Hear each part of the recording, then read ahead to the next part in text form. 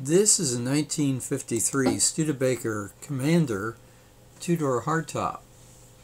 And being a Commander, it has the V8, as you can see on the hood there, the 8. Beautiful wire wheels and uh, wide white walls.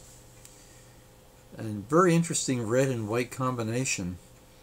Looks like it's been perfectly restored. We're taking a look at the interior in a minute. That V8 is the same as it was when it was introduced in 1951.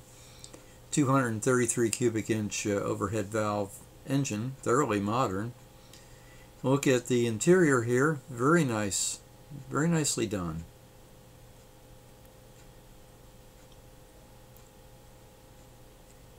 Door panels are well upholstered.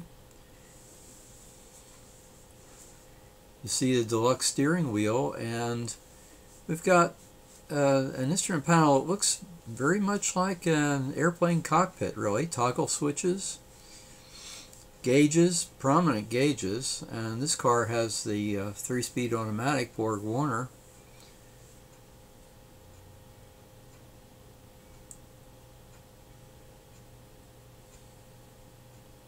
Nice chrome trim, beautifully uh, preserved the hint of a tail fin there with that uh, chrome trim on top of the uh, rear fender. Again, indication that, an, that it is an 8-cylinder.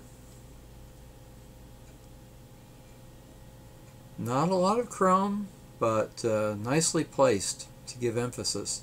Nice wraparound back window.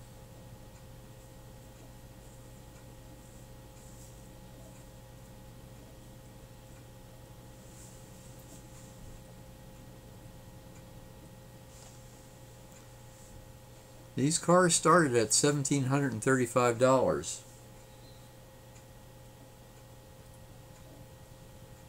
But you can bet this Commander was uh, much more than that.